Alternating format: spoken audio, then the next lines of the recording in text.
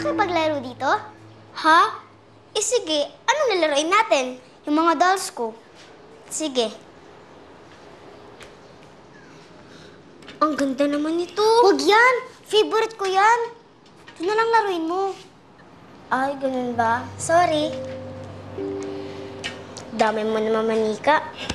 Bakit di ka ba binibila ng mama mo? Minsan, pero sabi kasi ni mo mas mahalaga kumain kami. Hana? Bakit? Salamat ah, na nakipaglaro ka na sa akin. Eh, sabi ni nanay, kailangan ko maginay sa'yo kasi kasin kita. Pero basta, huwag kang papasok sa room ko ah. At huwag mong kukunin yung mga toys ko at lahat ng things ko. Sige. Hana? Bakit? Sino si Isabella? Ate ko. Eh, nasan siya?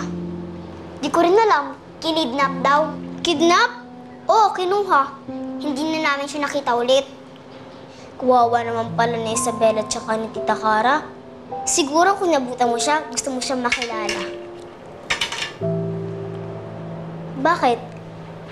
Ayaw mo bang magkaroon ng kapatid? Gusto mo habang wala pa sa Isabella, ako mo na maging ate mo. Ayoko nga. Ayoko na kapatid. Gusto ko ako lang mag-isa.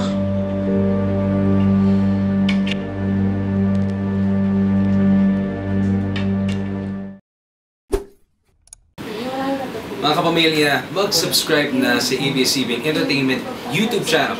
para maging updated sa Doble Cara. Yes, and for more videos, just click the I button right in this area. Doble cara.